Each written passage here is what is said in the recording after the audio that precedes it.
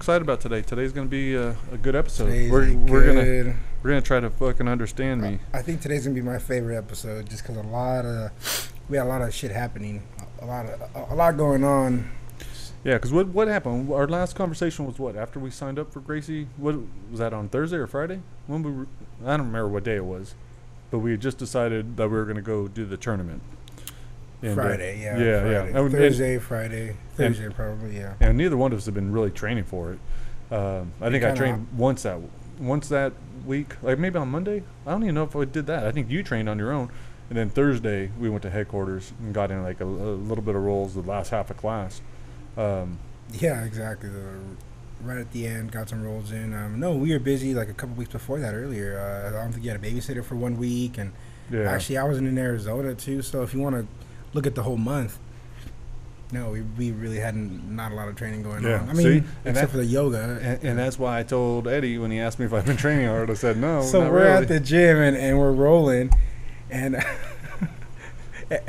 Eddie comes up and goes, "Oh man, what's up, Mark? You been training?" Yeah, you've been training hard. And I was like, no, it's not really. but uh, but no, I but also with the You're yoga. so honest, but With- yeah. With the yoga, I hadn't been really hitting it that hard either, just because we weren't meeting up that much. But now, lately, I've been doing a lot more. I've been doing it in my backyard. Uh, even though it's more yin stuff, I think I'm getting even more from it. Yeah. So that's the stuff that's Going helping me the most. So we sign up for Gracie's. We go to Gracie World. We do Gracie Worlds. Yeah, and it had an interesting start too. And dude, the whole the whole day. So the the night before, I was thinking about it because, dude, I was I was I didn't really want to do it in a way because like one, the, the last one's been kind of crappy. They haven't been great. Uh, the last one's terrible actually.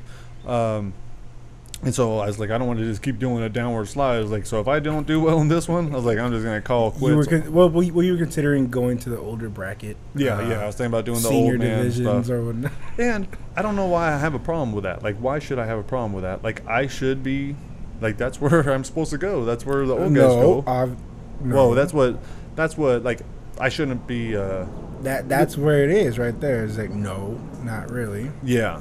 So, so there was that. And then, uh, but we get there, and, oh, and so the day before, though, I'm writing the final chapter of Unlocking the Cage.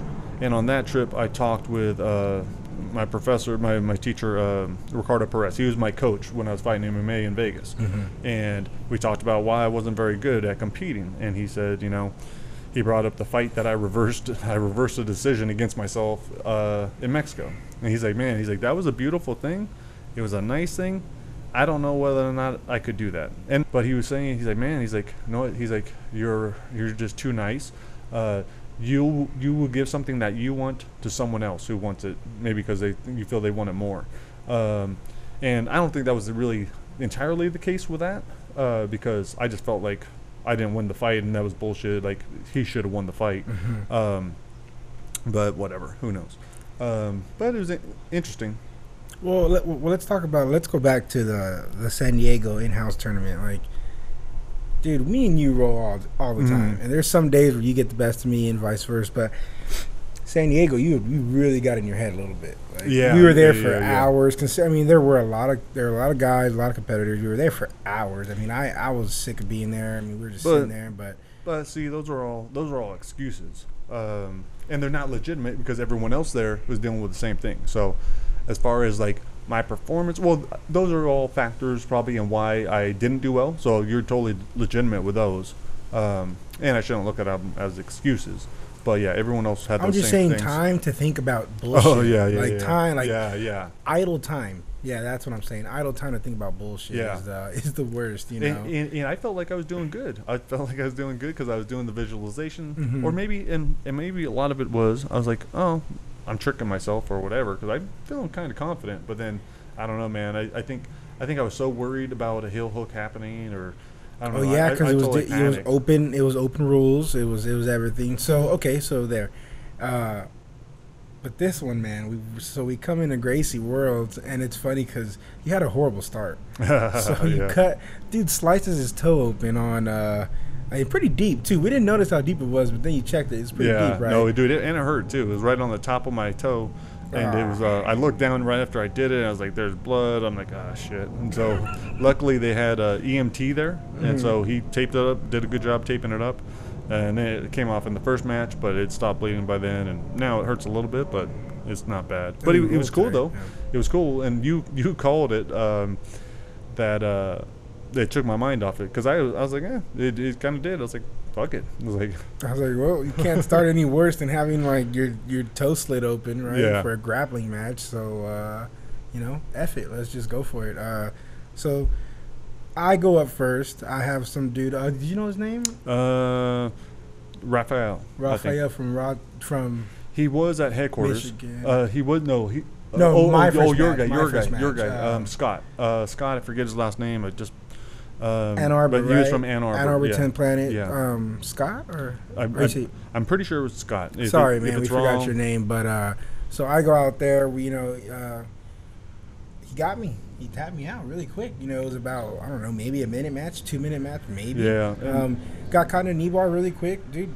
Good on him. My mind wasn't where it needed to be, and uh, left my foot out there. It's As simple as I can call it. But uh, so we get done with that, and uh, go back to Mark, and Mark's getting ready to go. And your first match was against. Now this is Uh, the guy, Raphael. Raphael. yeah. He just got promoted to purple belt, right? Yeah, last, Last night he did. Yeah, awesome, he was. yeah. Uh, yeah, he was from headquarters, but he recently moved to Salt Lake City.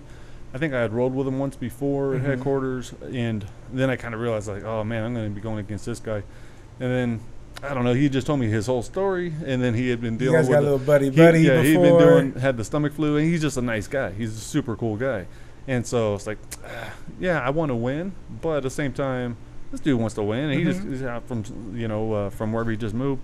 Um, so, but luckily, uh, dude. So in my match, I'm going against him, and I'm realizing like, dude, he's technical. He he was he was shutting down a lot of my stuff. He he threatened me with stuff. I don't even remember. You probably remember, but I think he he probably was coming pretty close with ankle stuff. a few stuff. Yeah, he had to sit out of his ankle locks a couple times, but you did a great job. You know, you sagged the foot and shuffled over. So yeah, it Mhm. was great. But yeah, Oh, yeah, and your coaching was awesome. So I, I appreciate that because I was actually able to hear this time. I was listening. I heard you say, you know, jump over the foot. I heard you say a lockdown. I heard all those things, and then I was actually doing them. nice. Um, but there was a point where, um, dude, I was getting really tired. Like I was exhausted, and I don't think our match was that long. I think it was just nerves. Uh, but then I happened to look over, and Eddie Bravo's right there watching the match. I'm like, oh shit, Hovering right over you yeah. guys, I was like, okay. I was like. I, I got to turn this on. I got to just go for it. And then, fortunately, I was able to get him in um, uh, triangle, and then then went to an arm, which look that part probably looked sloppy. Uh, the triangle felt good, but, but you were going for Dead Orchard a couple times, right? yeah, yeah, yeah, yeah, Yeah, yeah. yeah, I was yeah. hoping to, I was hoping to get it, but he was pretty wide, and Wide dude, but you locked those long legs, man. You had that triangle in. So yeah, and Eddie saw it. Was the- it was the whole thing. It was right there. So that was cool. Yeah, yeah. So I, I was really happy to win the match. I was like, oh, thank God. But then I was like, oh shit, now I got to do the guy that just went against you, Mhm. and so. Uh, and I was standing up. I was ready to go, but I was like, "This is gonna be awful. Um, there's no way I'm gonna make it a full 10 minutes. And if there's an overtime, fuck no, I don't want that." Uh, but luckily, the, the ref comes over. He's like, "Hey, he's like, we're gonna put in these guys first. And so he's like, "Sit down and relax." And uh, I, I, Best possible outcome too. They Oh, went three Dude, overtime I, I rounds. kept, yeah, I kept telling you. I was, like, I was like, get out, get out. I was like, I didn't want the guy to get submitted because I wanted more yeah, rest. Yeah. Um, and then Scott and I went, and it, dude, It was a good I- match. Yeah, it was a good match. He Stood up for a while. No, no real takedown. I forget how you guys got to the ground. I think he pulled I- in. I he tried to pass yeah. guard, but uh, Yeah. I, I, it went back and forth for a little bit. You know, I had some nerve wracking times there, but oh yeah, he almost had me. I don't know if he had me fully mounted, but he had definitely had three quarter mount. yeah, no, Yeah. no, for sure. You were, yeah, he had you in a precarious situation, but you held in there. You got your lockdown back, and and then um, you got down to the Apollo. Yeah, dude, that's Yeah. uh, and that was from uh, Frank. Frank, I think, was the first person that showed it, and then Yep. Scott Ross. We had class. I don't know. If, I think you were there that he day. helped it out. He Yeah, yeah. fine tuned it. Yeah, so that was cool. And then I didn't think it was working. Um, I didn't think the choke was working that great, but I talked with Scott last night when he was at uh, the guy, our opponent, Yeah. and uh, he told me um, the same thing. Uh, that he's like, man, he's like, the, the Apollo messed, the first one messed me up. And he's like, and then the second one, he's like, that actually put me out. And so I didn't know he had gone unconscious Yeah. because I tried to help him up, but he couldn't, he didn't stand up right away. He's Mhm. like, dude, he's like, that's why I didn't stand up. He's like, he's like, I was, I was unconscious. Wow. Uh, so I was like, wow, I was like, that was a weird feeling. And so, but again, with him, like I would do, so I was super happy that I won. but but me saying super happy, that's not actually that's, not no true. No, way. no, that's You not know, true. Honestly, bro. Okay, And so that's you what's win, weird. You win that match. Uh, the ref, you know, he taps. Uh, I got way too excited. I get way too excited, and I just slap the mats right, and I yell, probably scare some kids and babies around me. Uh, but you look kind of bewildered, like you're like. Like I don't know, you didn't know who to walk to, like where to Yeah. go, and then you I don't even know if you really knew what Yeah. you did, but uh, Uh, well, I was already thinking. I was like- part of it was thinking about like, oh, do I have another match? I was like, I was like, that, Yeah, did no, I re- that's what I was like, yeah. I was like, did I really win yet? And, and maybe I was thinking, maybe I was thinking, uh, That's why I was I so know. fucking stoked. I was Yeah. like, no, that's it. Like, dude, we we were supposed to have two more guys in our division, so you would have had another match, hmm, but they uh, dropped out or didn't yeah, show up, or you know. And uh, we talked about that last time. Like, is that still winning? Well, fuck yeah, we we went down there, we cut the weight if if it, if we had to or yeah. whatever. Spent, so spent uh, the day. spent the day, we trained, went through the nerves. Um, so yeah, I knew right away, and I just don't think you you. I'm like, man, yeah, man, dude, you did it. but but even then, even then, man, uh, like, like, cause we talked about it there, and I was like, yeah, I'm happy, but I kind of feel like, well, I should have won anyhow, or you know, or, or whatever. And I Dude. was wow, because I was so stoked because I just, I don't know, I was just pretty stoked. Um, I don't know, man. I would have been super stoked for myself. Maybe Well- I'm just well, too. And it was kind of it was kind of the almost the exact same thing. Like so, when I had the terrible day in San Diego, I remember being on the ride home, and Janine was texting me about Mhm. your wins. I'm like, oh fuck yeah! And so I was Yeah. like, I was super happy about that. Mhm. Like so, I was happier about that than than me winning. Me winning was like, I'm happy. That's cool. That Yeah. that's awesome. Like hopefully it'll help me get promoted now. Um, but But dude, it's, Dude, that's what's crazy. awesome is that though in San Diego it flip flopped. So the guy you went against tapped you out 1st Mhm. and then I ended up getting him. And yeah, same thing, same thing happened. So I guess you guys shouldn't fuck with like your training Yeah. partners, cause no. Yeah. But um, so that's pretty much what we want to talk about. Is like, why can't you? Well, well, I don't even know how to really put it. Like, cause you said that, dude. You were like, oh, I should have, or Oh yeah. oh, it was. You know, I feel bad for that dude because you came from Michigan, which is cool. You know, that's yeah, I feel Yeah. bad for him too. But ah, man, I I was so stoked, and I was just yeah, like, it, uh, dude, it comes to. Uh, I've been thinking about this a lot last day or two, um, but uh, and I'm actually gonna write something about it. Probably like a peek at a perfectionist because, dude, that's what it comes down to is me never being happy with anything I'm gonna do. Like I thought I was over that. I I try to pretend I'm over it. I tell myself, dude, I give people this advice all the time. I'm like, mhm. oh, you don't say should or need to or whatever and put these demands on yourself. But, dude, I hold myself to a higher set of standards than anyone else. Like, if you did something that was whatever, like, I don't think, oh, no big deal. If I Mhm. did it or whatever, I'd be like, oh, you're a piece of shit for doing this or you should have been doing this. or, But, uh, like, when I talked to the, the psychologist the one time, like, I was listing my stuff and everything I said, I had to, uh, it's like, yeah, I played football, but I wasn't that good. You know, I tried boxing, tried pro boxing, but I wasn't that good. I tried fighting. Went to uh, Ivy League, but only two years. You know, yeah, so everything, always an asterisk. everything. Yeah. So I was like, uh, powerlifting competition, a- anything I did, even if I got a first place in it, for me it was like, eh, well, I should have. You know, I was like, I should have won. I should have got that. Wow. I, and it, I don't know. And, and I downplayed that shit all my life, and it's a, it's a terrible thing. It's something that I'm really trying to stop with my. Oh, there we go. Wonderful sirens in the background. You hear Yeah, that? That's awesome. getting arrested. yeah, it's not us. That's cool. Or they're headed here. Oh shit. they're like, not this guy you don't do that anymore. No, no. Um, Let's not have that. That's not for us.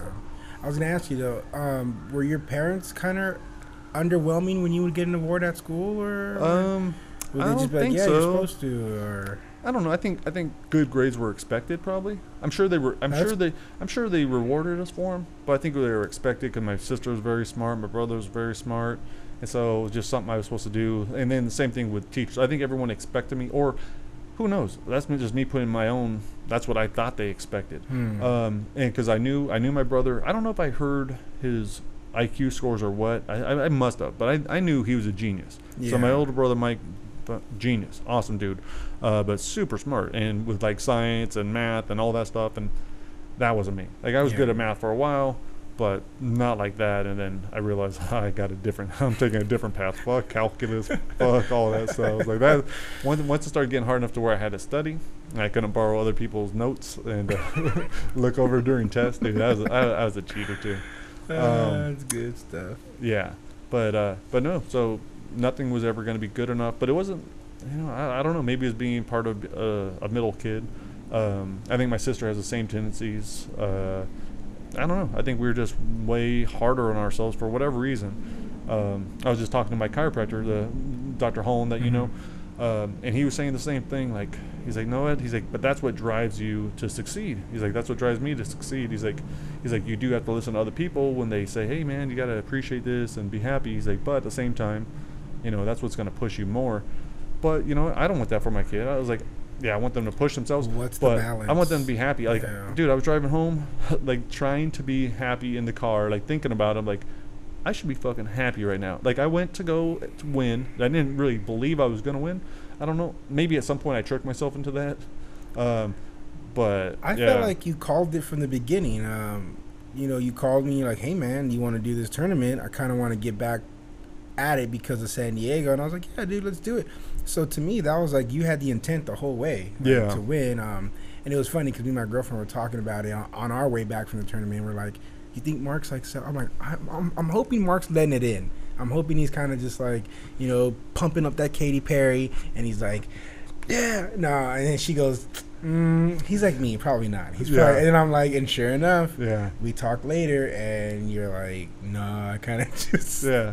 No, I, I texted. I texted my wife. I was like, Mhm. I think I forget what I said. I was like, oh, I got lucky You and, got lucky, and yeah. won. I won two matches, and uh, yeah, and dude, that's what like with fighting. I would put myself in terrible Yeah. situations where I'm fighting a dude with 24 fights and I got like three or four, you know, and just shit where I'm supposed to. I'm taking on short notice. and I'm supposed to lose, and I don't know. Um, who Well, knows? that, I feel like that's somehow different than what, what what's going on now. yeah, I know. that- Then that's what I just realized know, after I said it. I'm like, uh, I'm like, you dumb fuck. because now, uh, well, you just got to find that balance. Because now, you know, you hear about Jobs or Michael Jordan, and uh, who knows, you know, the list goes on and on. And you hear about them being assholes or this or Mm. that, or so competitive that they they could be perceived as an asshole. But it's like, no, man, they just want to. They're not happy. They're ambitious. This that, but none of those guys have friends, or it seemed, you know, allegedly, Right. or it just seems like that's not the nicest or the best way to go through it and live it, and especially for Yeah. kids, like to have all that pressure and never be happy. And but Yeah. is it better than just always stopping to smell the roses and always patting yourself on the back? Right. And no, it probably comes. Yeah. To, I think it comes to that balance, and um, and dude, I, like I'm feeling good now. Like I think uh, this was a this was a pretty awesome weekend. So there's another thing that was kind of cool that happened, but that I really wasn't that super happy about, and it's um, I had a, a sale for Twisted Reunion, my Mhm. short story horror collection, and so it, it jumps in rating rankings on Amazon from fuck who knows where, like towards the end, to it jumps to number one for in horror um, horror short stories, and it was like number two in uh, all short stories by a single author, number four in whatever category, got all the way to number six in all horror. Wow. So in all Yeah. in all horror books, it was number six, and I'm thinking to myself, I'm like. So, so most most people like I, I'm probably the only author that doesn't do this that says like oh Amazon bestseller blah blah blah blah because I think that's all you have to do if you're on those lists. Well, my thinking is like, oh well, I'm only going to be on there for a couple of days, and it's going to start dropping, and it's because of this or that or whatever. But and not being able to be like, cool, man, like, like this, and just be happy about it. Um, doesn't mean stop. It just yeah, be happy about it. Yeah. yeah, yeah, yeah. No, and and and uh, but whatever. So starting to get over it. But I'm like that with my yoga too, dude. Like, Yeah. I think it, like it, it just comes down to confidence. Like doesn't matter our age or how big or small we are. It's like confidence is confidence. Like you know, and thinking that my yoga's good or putting out the DVD or Yeah. digital Yeah. version and you know all that stuff. It's me questioning. Oh, well, let me, I gotta perfect it first. I gotta do this and do that. And it's like, no, man, just get out there and do it. you know? Yeah. So I just you you prove stuff to me, Mark. You show me, Yeah. show me I no, can do that, it. That, that, that that's cool, man, and that's that's what it, that's one reason why I wanted to succeed too. I was like, oh man, I was like, I'm I'm doing what I'm doing now as far as like my jumps in jiu-jitsu, uh, jumps and being able to do anything, not having to wear a brace on my knee. That's all your yoga, your instruction, being able to defend legs, learn legs, just improve. Well, you put the work in, dude. Yeah, you know. and, and I would, you know, I'd probably I would make some jumps, but I was Mhm. like, I know I've made those jumps because of the yoga. I know all these other things. So, um, no, I thanks think for it that. flow, yeah, it flows both ways. I think our partnership just works. It just it helps out that we're the same weight, almost the same height, and that uh, you believe in the yoga, you know. Right. But uh, yeah, man. So you end up winning. You go to HQ the next night, and then you got your purple Well, belt. yeah. dude. So that was one of the reasons I did it. I was like, you know what? I knew promotions were coming up. Eddie Uh-huh. only does them once, a, once or twice a year now. Mhm. So, and you don't have to compete, but I didn't know where I stood at blue. I haven't been training very often. I mean, when I train, it's with you, and that's what's crazy. Like, dude, we're each other's training partners. We don't have a lot of guys coming through. Um, not yet. yeah, not Yeah. yet. But I, guys, if you want to train with us, come down Tuesday. It's awesome. Or Yeah. women, we need we need partners for my wife. My wife's gonna start training too. with us. Yeah, like, my girlfriend as well. Dude, I'm hungry now. I want to. Uh, we're all gonna compete. My daughter's competing. Jen's competing. Uh, I'm gonna compete in November. Um I'll rep the youth center probably. So just, re- just uh, sorry, just dude, look at that. Yeah. That little circle of of, uh, of that. Come yeah. man, no, that, that's that- pretty yeah, that's cool. you Yeah, and I started starting to enjoy like Jen and I drilled the other night, and because she always has questions. But I think part of that too is like why I wasn't doing stuff before. I think I was doubting my knowledge. Like I'm like, oh, because I don't know the fundamentals really, and I know I know.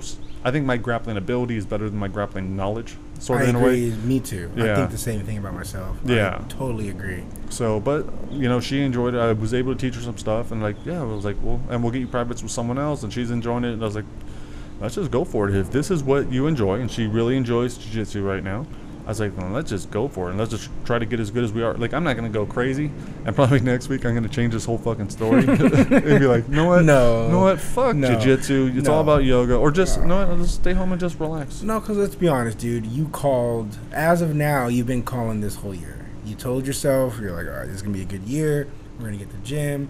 I'm gonna get better at yoga, and you have. You made leaps and bounds.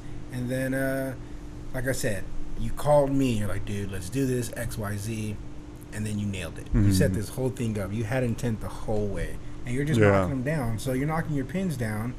I think we just need to keep putting pins up, but be happy with the strike that we had. Yeah. You know, but keep racking up those pins again, and you know. Yeah, no, I think, dude, I think that's what it's all about, man. I'm excited about whatever's gonna happen. I was like, it'll be fun, whatever it is. I don't know if it's gonna be put in whatever book is gonna be next. Like, it, does, it doesn't matter. Like, we'll, we'll do that. Uh, what, whether it's next competition, whether it's your DVD, like, but we will. I do want to sit down. We'll, we'll put it down on paper. I think putting it down on paper makes such a difference.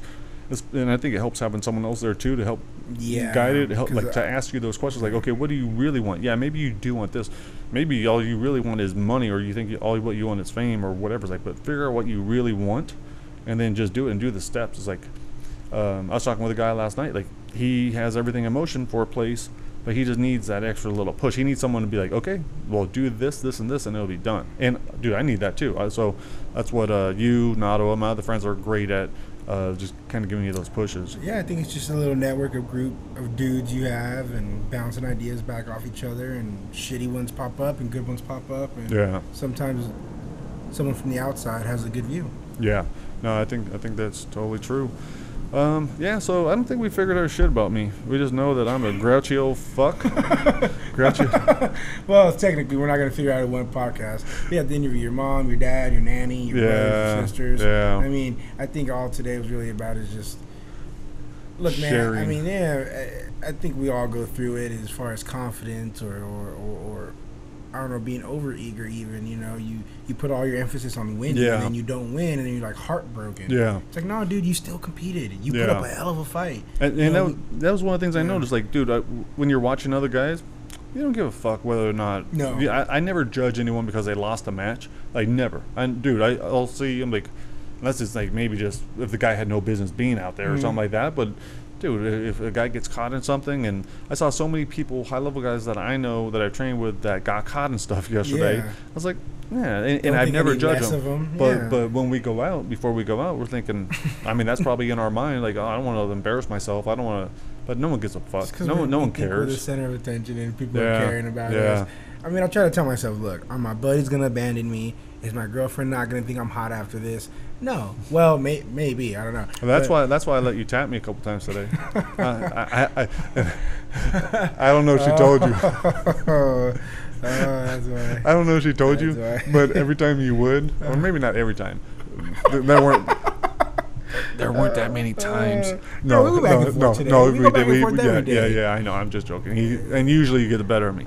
Um, but I look over at I'll her. say earlier I did usually, Yeah. but now I think it's getting a little different. But- I think I'm gonna have to. Yeah, I look over at Janine. I was like, I let over you.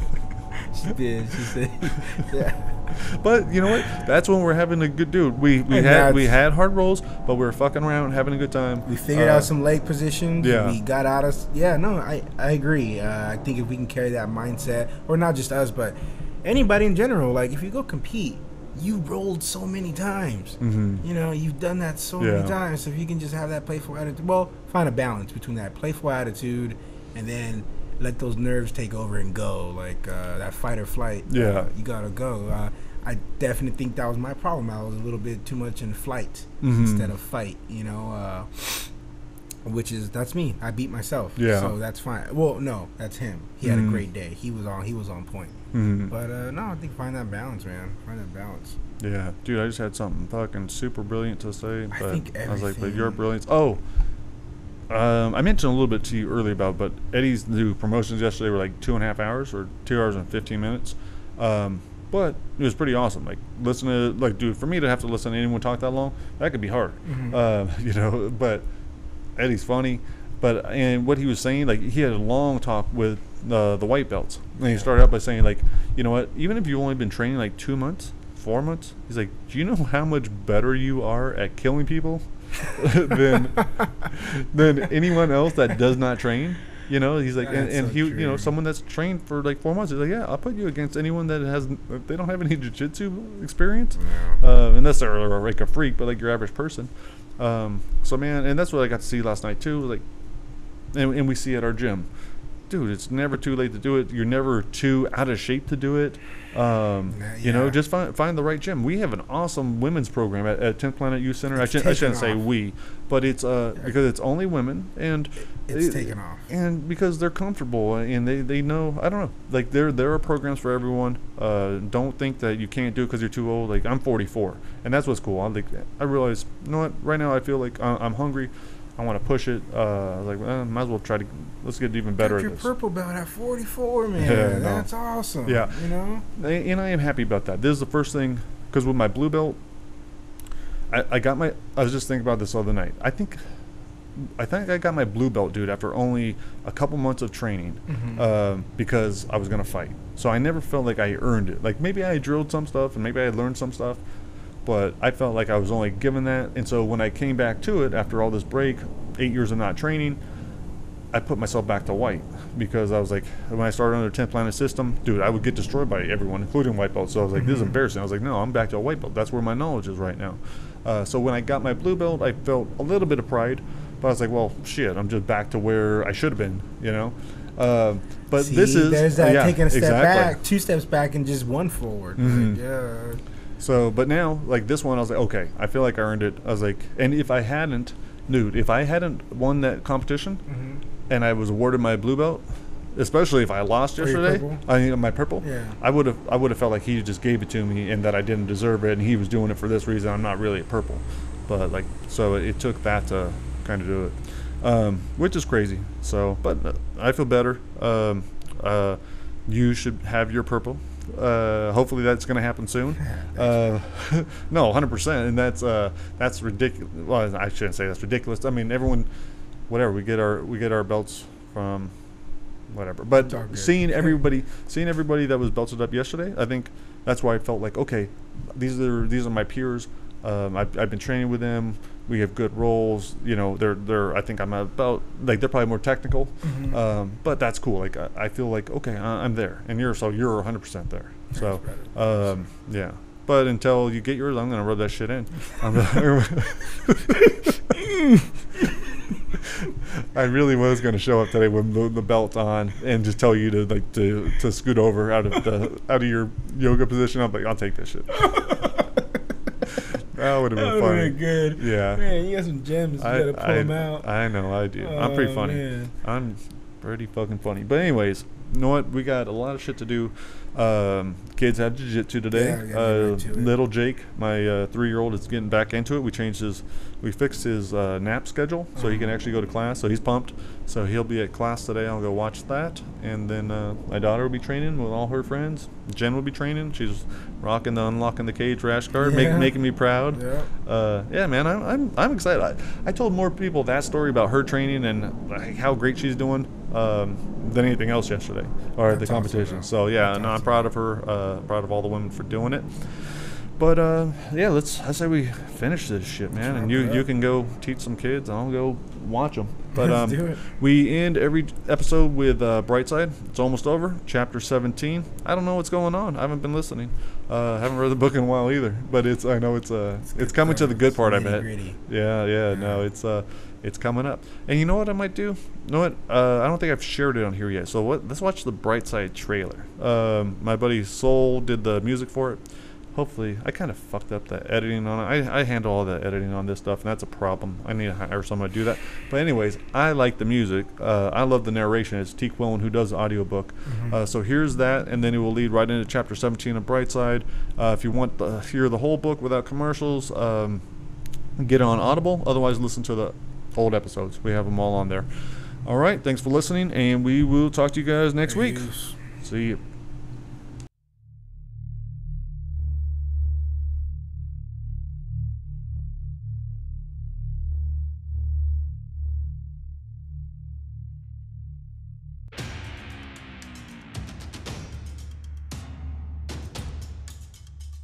This is my 100th day in Brightside. The day I swore my life would change. This is where I always end up, no matter how much I don't want to. I can't look at my Mossberg 12 gauge. American metal. If I look, I'll never explain how day 100 got so fucked up. The day's gonna end soon. One of two ways. Fairy tale ending. yeah, right. Princess is dead. My dad always warned my gift would become a curse if I wasn't careful. Was I suicidal? We all were. But not so bad we'd ever do it. But that was before they found us and brought us to Brightside. Before day 100.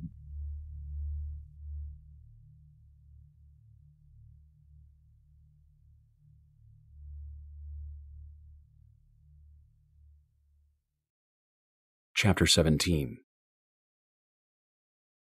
I promised Wayne I'd talk to Sharon, but there's no point telling her shit. If I do and she agrees, there isn't a damn difference. But if she freaks, like I know she will, then I'm only putting Danny in more danger. Wayne's going to be there whether I talk to Sharon or not, and his big ass isn't going to climb down a rope by himself. And he's going to want in on that getaway vehicle, whatever that might be. I'm such an idiot for not asking Sharon for more details. I was too caught up in arguing about Sarah and Danny being sent to the cabin and my father turning me in. Still, I have to call her. Sarah and Danny have to be included in the getaway. I take out the cell phone, the one Sharon said couldn't be traced. There a problem? Those are the first words out of Sharon's mouth. I almost tell her that there are more problems than she can handle. Just one, I say. Sarah and Danny are both coming. Absolutely not. Then I'm not firing a fucking shot, and that helicopter will be sitting right outside the mine shaft. You can kiss your little plan goodbye. Sharon's breathing. And while I can't hear her thoughts, I know that damn mantra is on full blast in her head. It's your call, I say. But I'm not doing shit until I know they're in. Sharon's teeth click a few times. She says, Fine.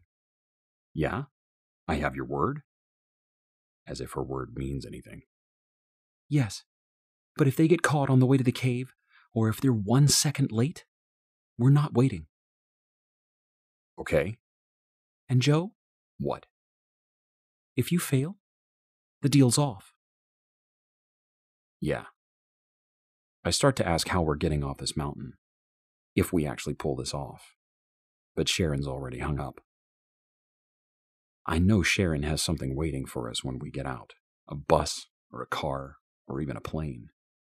She told me there were others in the real world, ones yet to be discovered, willing to help us.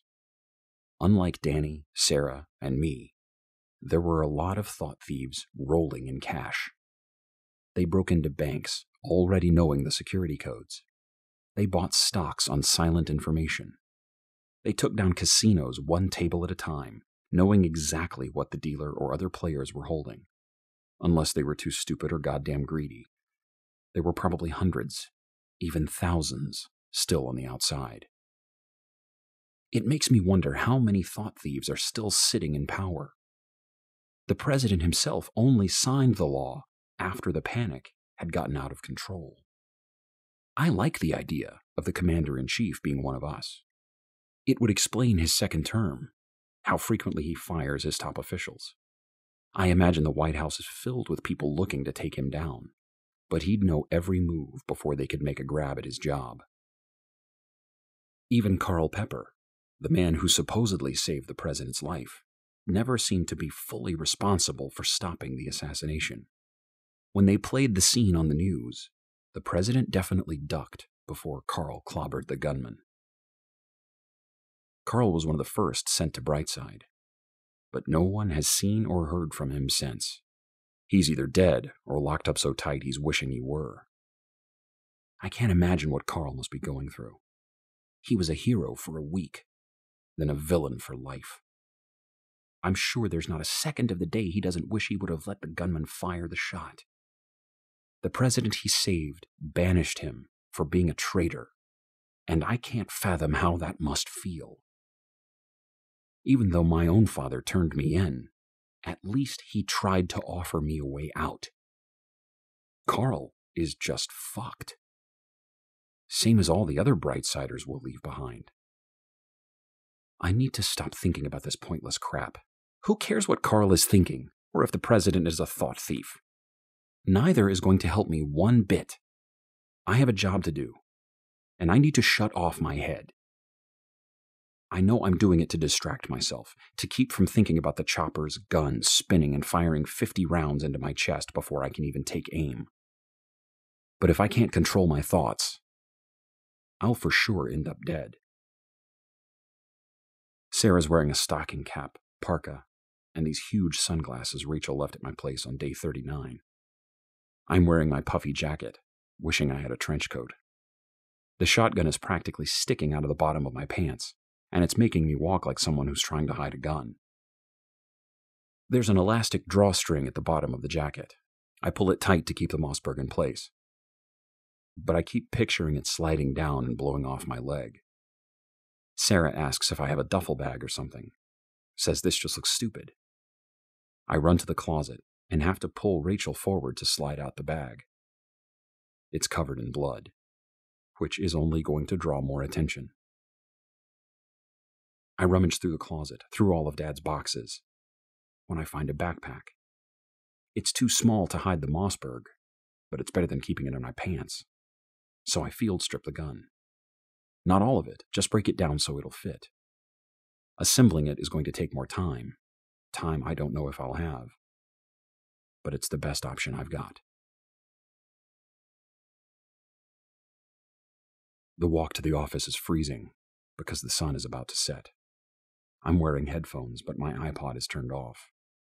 I'm just silently talking to Sarah as we move down the street. Most people are at work or locked away in their apartments. Wayne has everyone on edge. The building where I work has a small crowd out front, but I don't see any boots.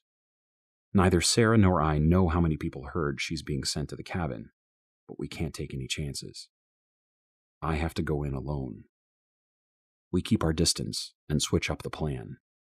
It's better this way, because Sarah needs to draw the helicopter to me. She slips off through the square. I watch her and have the fear this might be the last time I ever see her. I want to chase her down, tell her how sorry I am she got pulled into this. But again, it's not going to help me do what I have to do. I flick on my iPod, crank it as loud as it can go before entering the building. There are a few people getting into the elevator, so I take the east stairs. The shotgun pieces clang around in my backpack as I climb. Luckily, no one is in the stairwell, though I sort of wish there were. I want someone to catch me, to make me go back to my apartment. The cabin doesn't seem like such an awful outcome right now. My hand goes to the door handle, but I can't open it. It's not locked. I'm just freaking out. I keep thinking about how I almost plummeted off the side. Sarah had to pull me up to save my life. I'm leaning against the wall and I can feel the sweat soaking through my clothes, which doesn't make me feel all that bad because it's fucking hot in here in the stairwell. I decide to put the shotgun together. If the helicopter flies over while I'm assembling it, they'll kill me. Sarah also needs time to get to the boots. She's supposed to say Wayne is in this building. I told her to keep her distance, let others spread the word. But I know she's not going to risk Danny to save herself. I just hope they don't recognize her before they head this way. The barrel clicks, and I pull out the shells. Slide in two. I have another dozen in the backpack, but I'll never get the chance to reload. It's one shot. The Mossberg is in my hands, and I keep thinking about Rachel. If someone were to see me, I don't know what I'd do. I guess I'd have to shoot, but that's only going to alert the boots, the helicopter, and the gunner. I suddenly realize this plan's already fucked. Sarah's going to tell them Wayne's here, meaning they'll already be looking to kill him, meaning as soon as they see I'm armed, I'm dead. I'm starting to think this really is all a setup. Melvin could get a hell of a lot closer to the helicopter than me, but Sharon said I was the only one for the job. They're probably already at the cave escaping, while I'm up here like an idiot holding a shotgun that will draw all the attention. I'm hating my father right now for trusting that lying bitch, for giving me the shotgun instead of a rifle, which I could fire from cover instead of standing right out in the open, making it so easy to take me out. Plus, I don't even have an escape plan. The helicopter will definitely beat the boots here, but it won't be long before they secure the building. At least Sarah's not with me. Danny either. They might still have a chance. This is what I'm telling myself as I hear the distant thwump of the chopper getting louder and louder. I don't even have to put my ear to the door to know it's almost here. Sarah's supposed to meet me at the pond. I know she won't wait forever. I told her she can't be late to the cave. It's Danny who's important. I just hope she doesn't hold out too long. Sharon won't hesitate to leave her and Danny behind. I wonder what's going to happen with Wayne. When Sharon sees him, she's going to shit herself. I wish I could be there to see her face. I just hope Wayne doesn't get Danny killed. My hand is on the door handle, and my heart feels like it's the size of my head. The Mossberg at my side, my finger just above the trigger. Everything's tunneling. I can't breathe. It sounds like the helicopter is circling. I need to time this right. Wait until it's on the other side of the building before coming out. Voices fill the stairwell, but they're not coming up. Everyone's fleeing, meaning the boots are probably already here. They'll sweep every floor. I've run out of time. The chopper is as loud as ever. I wait for a couple of seconds until it's a little quieter, hoping I can make it to the wall next to the air conditioners before the gunner sees me. My hand presses down, the click of the door. At least this will be quick. I throw open the door and I'm practically blind from the sun. I stayed too long in the stairwell and my eyes can't adjust. The chopper's coming around, and my finger goes to the trigger. It's so loud and bright. I press my back against the wall, hold the shotgun to my chest. I'm closing my eyes, picturing Lily and Rachel and my parents. Dad's telling me I can't be afraid to pull the trigger. But suddenly I realize that fear might be my only way out of this. The chopper is less than two seconds from seeing me with this shotgun. There's no way I can pull this off. Not like this. So I drop the gun, kick it so it's under the metal folding chair, the one I used to salute the flag and sing like a goddamn lunatic. That's exactly what I have to look like a man who's lost his mind. I take off running, waving my arms, screaming at the top of my lungs. He's in the stairwell! Wayne King is coming down! The gunner's hands are wrapped around steel, ready to open fire. I have no idea if he can understand a word I'm saying. But I just keep screaming that Wayne's heading down the stairs and start pointing over the edge. I'm right up against it, looking over, seeing the ground. But somehow, with all the adrenaline, I'm not afraid. I'm just screaming, Down! Down! The gunner must understand enough. Because he's saying something to the pilot, who starts circling around to the front of the building. He's descending. The rotor now even with the ledge. They're looking in the windows, looking for Wayne. I turn back to the wall, where the shotgun is, and take off running. I try to pick it up, but my hand smacks against the folding chair. The chopper sounds like it's starting to pull away to get a better view. I flip over the chair, grab the gun, and run back to the ledge. The crowd down below is staring up at the chopper.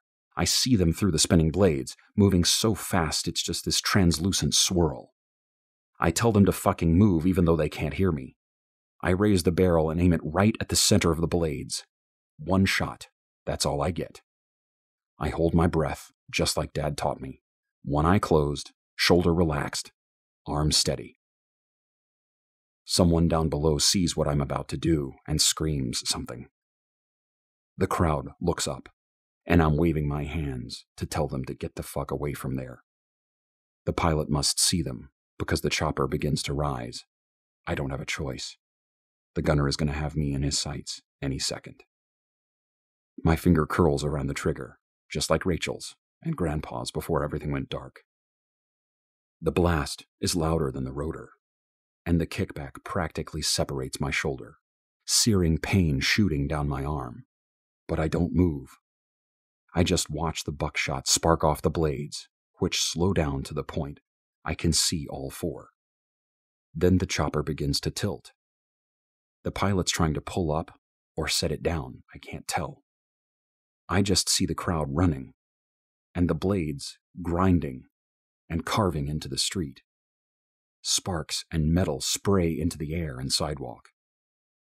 The fire isn't instantaneous, but it doesn't take long before the entire helicopter explodes. Two women are thrown back. A guy is holding his face, obviously burned and ripped up by the shards of metal. The gun is still in my hands as I back up, nearly trip. I stare into the sun as the crackling sounds mingle with screams. What the hell have I done? The door closes behind me as I enter the stairwell. I'm against the wall and shaking. The backpack is on the floor, and I just stare at it, knowing I need to break down the shotgun, but I hear voices coming up from the first floor. The boots are here, and I have nowhere to run. They're going to open fire. My fingers fumble for the shells, but I can't get a grip. It's like they're covered in oil. I look over the side. Someone is definitely coming.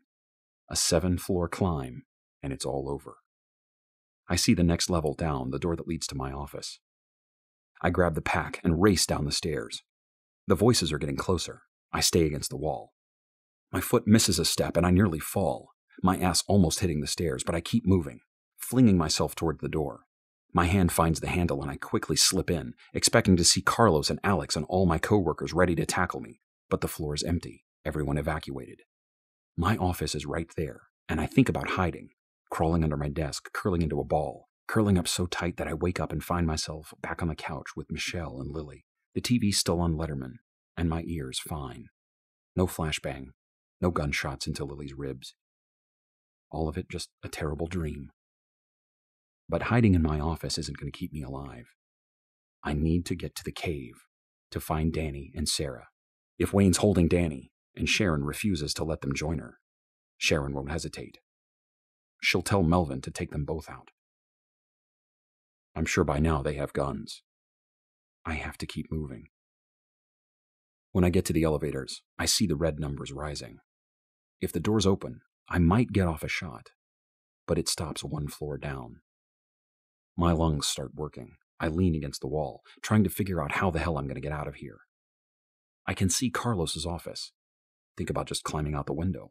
One less floor than Paul fell, maybe I'd just break an ankle. Then I hear the stairwell open whispers. They're checking offices. looking for Wayne.